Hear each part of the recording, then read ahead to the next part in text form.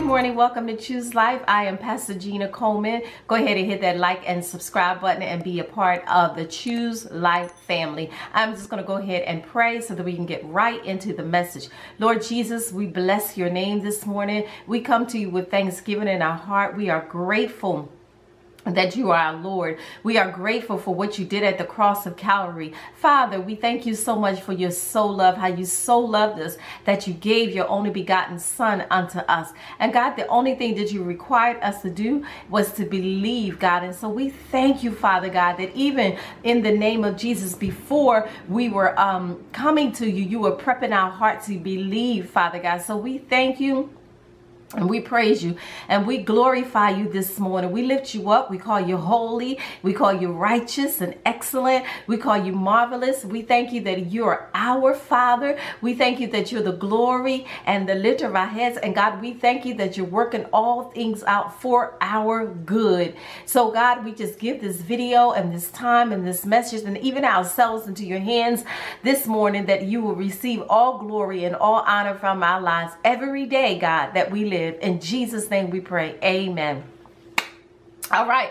So I'm going to go ahead and get into the message. If you notice in the I don't know, spring, summer, sometimes the pollen be wearing me out so much it's kind of difficult for me to catch my breath. But pray for me, right? All right. So I'm going to go ahead and get into the message. The message today says, hand me the reins. You know, the reins that be on the horse. God is saying, hand me the reins. I want to help you. I am your helper, but sometimes you won't take your hands off with what you're dealing with. I can't get involved at the level I want to until you take your hands off and give the situation to Jesus. As long as you are striving in the flesh to fix something, get something, or get rid of something, you are not allowing my grace to work in your life the way that I intended to. I'm going to show you some areas of your life in which I want you to hand me the reins. Hmm. If you'll give them to me, I will take the lead and show you the steps to take to work things out. I am waiting for you to get to the end of yourself so I can show myself strong in your life. Now, when I read this this morning, I felt the conviction or the impression of the Holy Spirit in my spirit. There is some things that the Holy Spirit wants me to let go of. And not just me, but every person that views this video, he wants us to let go of some things. I know like um, a few months ago, the Lord, maybe even last year, the Lord said to me um, that he wanted to give me something, but I keep getting in the way. So he can't give it to me until I move out of his way. So that's why this um, message is, you know, really, really for me because the Lord wants me to let go of the reins. The reins are the thing that you have on the horse and you, you know, tell the horse which way to go. And we have the reins and so we're driving our life in the way that we want it to go or the way that we think it should go. So the Holy Spirit cannot take the reins because they he, we already have them. I mean, no one can just jump on a horse and start taking the reins from the person that's already on the horse. And we know that the Holy Spirit is a gentleman and he would never just aggressively, um, you know, overtake us so that he can be the leader of our lives. So as he said, he cannot do anything. We stop him from giving us something, um, changing some things because we have the reins. Oh my Lord, I feel the conviction of the Holy Spirit. So he wants us to let go and really let him be in control of our lives because we know that we're, when we have the reins, it's nothing but trouble. we think, okay, I'm gonna take care of this. I know I'm doing, I'm just gonna say this but it, it always leads us to trouble. So he's saying unto us this morning, let go and let me have the reins. Because as long as you and I have the reins, he cannot be the leader. And the Lord sent him here to help us. He sent him here to lead us and to guide us into all truth. And we're not allowing him to be Lord. We're not allowing him to be the helper, the helper that knows everything. There is nothing more exciting than to need help from someone and they come along beside you and they come along and they take care of what your need is. They have everything that you need in places that you were struggling, trying to figure out how to fix something, trying to figure out how to get someplace.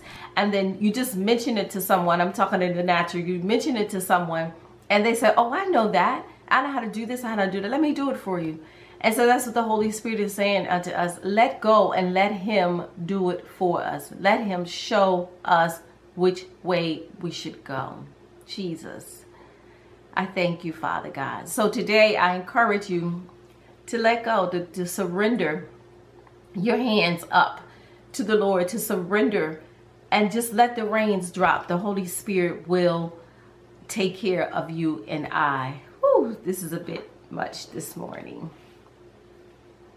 Well, it's really not um, because the Lord loves me and he loves you and he just wants us to allow him to be who he is, which is Lord and helper. Amen. All right. He said, if you, he said, I will take the lead and show you the steps to work things out. He said, I am waiting for you to get to the end of yourself. He is waiting for us to get to end to the end of ourselves. He's waiting for us to say, okay, I quit. I can't do it. And as long as we hold the reins, we're just going to go around and around and around, be frustrated, sad, depressed, confused because the helper that Jesus sent knows the way that we should go, but we're holding the reins and he can't touch them. He can't do anything about them until we let him go. Oh, thank you, Jesus. I thank you, Father God.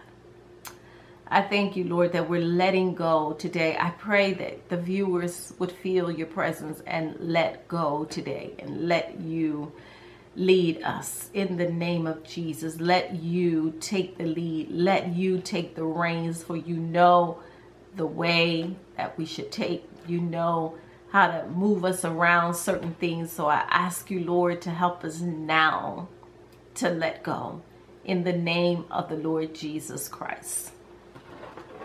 So I'm going to go ahead and I'm going to read the first scripture.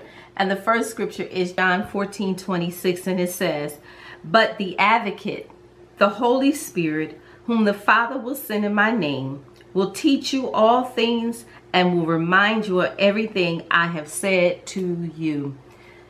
I like that Jesus sent the Holy Spirit to help us, but we don't always allow the Holy Spirit, the defender, the supporter to always help us. I think sometimes we use the Holy Spirit as in the case of an emergency, like if times are difficult, we invite the Holy Spirit into our problem. But He doesn't want to just show up for our problem. He wants to help us even before it becomes a problem.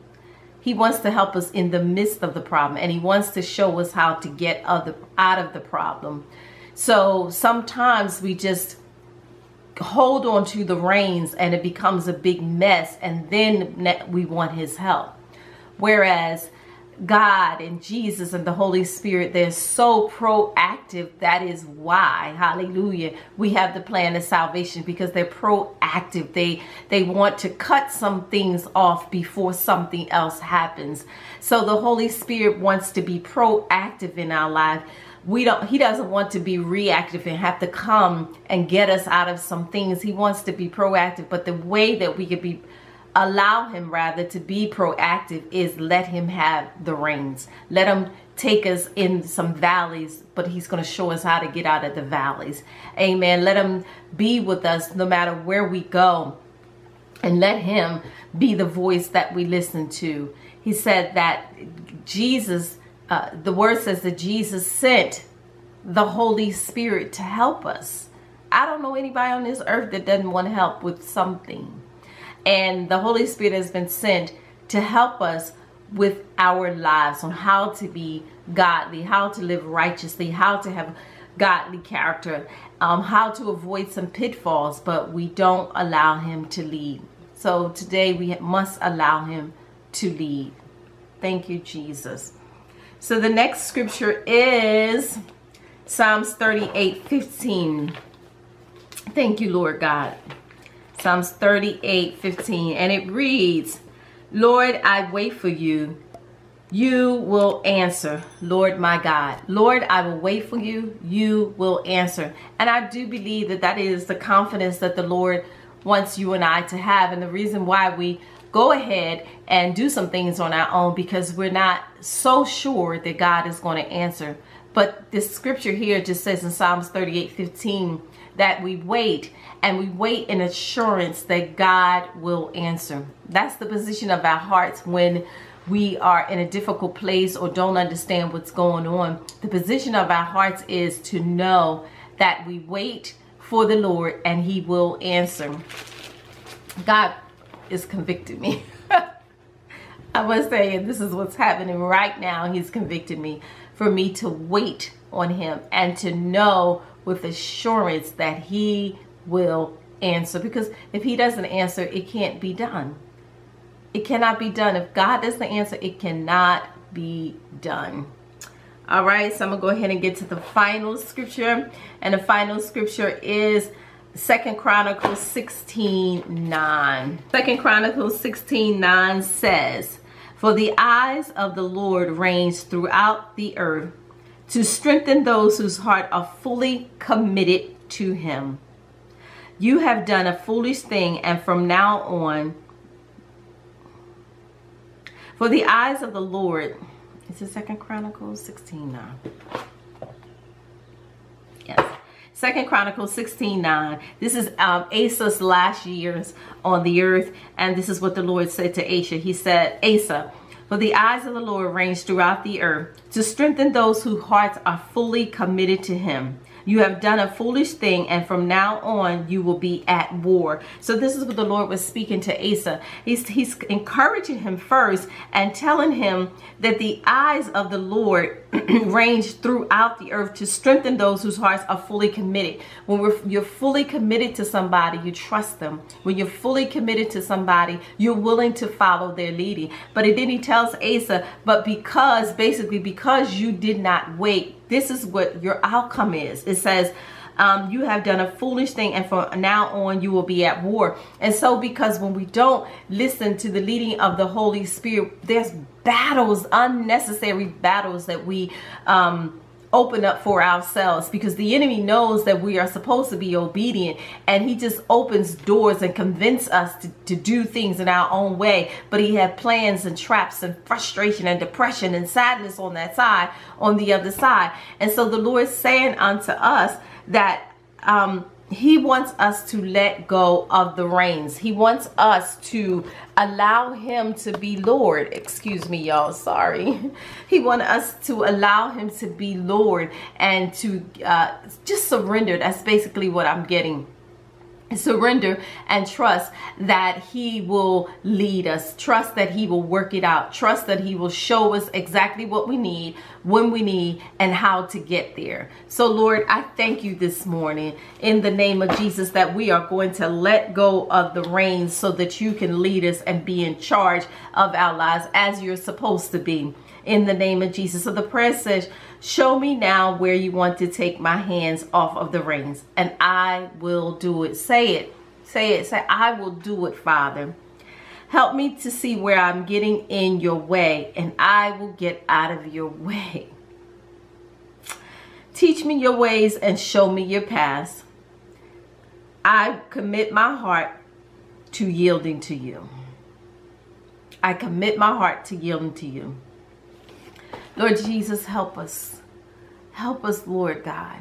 Whatever wants us to be in control all the time, deliver us from that thing so that the Holy Spirit can lead us in the name of the Lord Jesus Christ. Forgive us for just trying to be Lord of our lives and trying to be the leader of our lives, knowing that you purchased us with the precious gift of Jesus Christ's blood, Lord God, his entire life, Lord God Forgive us, Lord, for trying to run things and teach us how to wait, God, with assurance that you will answer.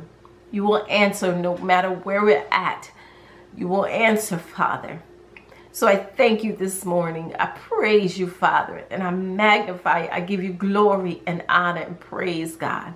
In Jesus' name, amen. So I, I hope you're convicted as well. uh, because the word says that God chastens those whom he loves. So I hope that you're convicted. Um, if you hear, I, I'm at least, let me say this. I'm a strong believer that if I hear the word, it is for me. It is not for someone else. If I'm reading it, this is not just for you, it's for me as well as you. So let's give the Holy Spirit the reins so that he can lead us, so that he can be in charge, so that he can show us how to get to the places without all the extra trouble, without being at war in the name of the Lord Jesus. So go ahead and hit that like, subscribe, and share button. God bless you. I see you all in another video.